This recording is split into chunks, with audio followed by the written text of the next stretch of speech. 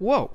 It smells like a college dorm room in here, Triangle Bob. Did you eat all of those bags of Radical Ranch Triangle Chip? And who the heck is this? I've never seen this character on the show before at all. Oh, you're watching our Sleeping While High video. You know, I've been meaning to make a sequel to that video. Triangle Bob, uh, whatever your name is, let's do this. Cue the intro. Hey there, welcome to Life Noggin.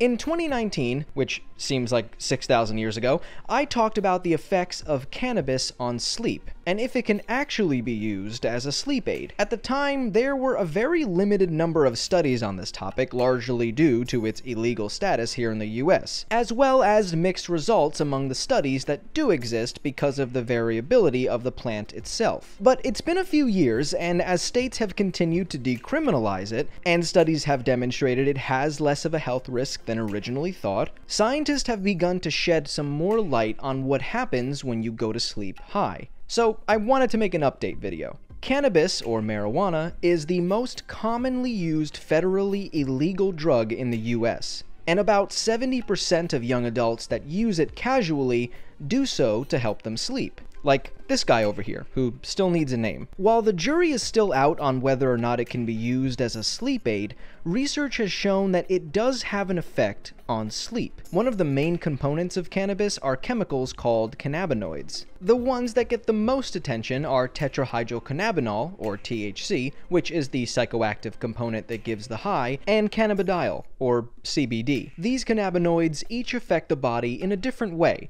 and while there haven't been many controlled studies on how they directly affect sleep, either alone or in combination, their impact on other conditions could be playing an indirect role on improving sleep. For instance, people who use CBD to manage anxiety or pain often report that they also sleep better. The same goes for THC. There's a man-made version called Nabilone, and it's an approved medication for the treatment of chemotherapy-induced nausea and vomiting. But in an off-label clinical trial where Nabilone was used to treat PTSD-related nightmares, participants reported improved sleep time and quality of sleep. That is because THC seems to alter the time spent in the different sleep stages.